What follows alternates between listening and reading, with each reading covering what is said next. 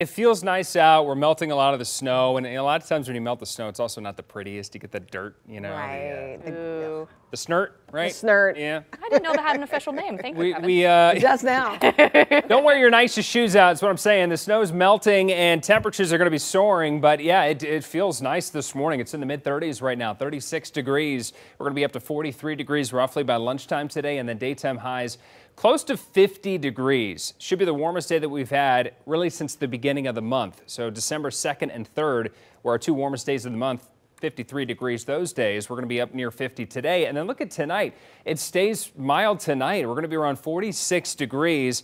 The average low temperature for the end of the year, 22 degrees. So we are going to be almost 25 degrees above average for our, our, low temperature tonight.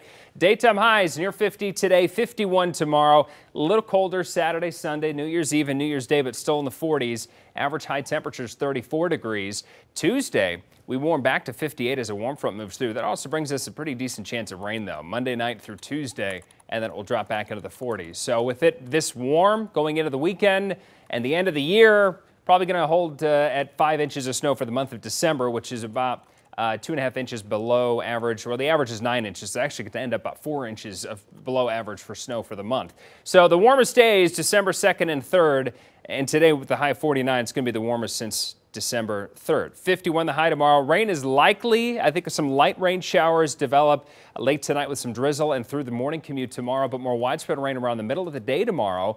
And we'll get some scattered showers or more broken showers in the evening. Heavier rain arrives at night. That lasts overnight Friday night into Saturday morning. Saturday afternoon, some scattered showers. It looks drier after 8 p.m. for New Year's Eve plans, but still might be some showers lingering into the night too. And again, getting warmer next week around Tuesday, especially will be in the upper 50s then. Allie.